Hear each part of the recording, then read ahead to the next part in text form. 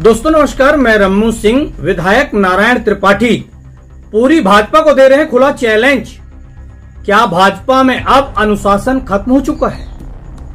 या भाजपा विधायकों के खिलाफ कार्रवाई करने में अब डरने लगी है?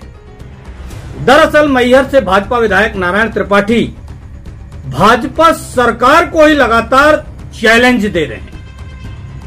कभी सवर्ण आयोग के नाम से तो कभी विंध्य प्रदेश के नाम पर।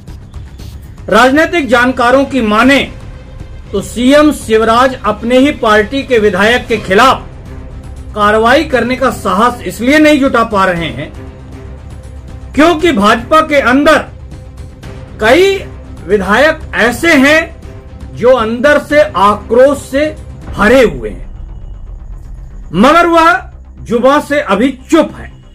अगर नारायण त्रिपाठी के खिलाफ भाजपा कार्रवाई करती है तो भाजपा को डर है, कई अन्य विधायक भी बगावत का बिगुल फूंक सकते हैं।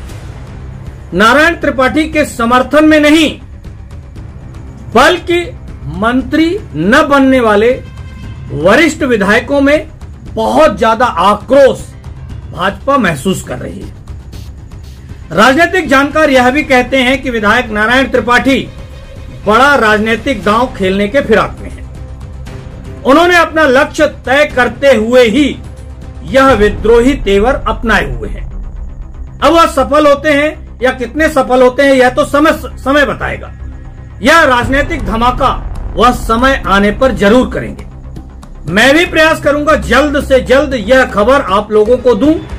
देखते रहिए हमारे इस न्यूज़ चैनल को। धन्यवाद दोस्तों।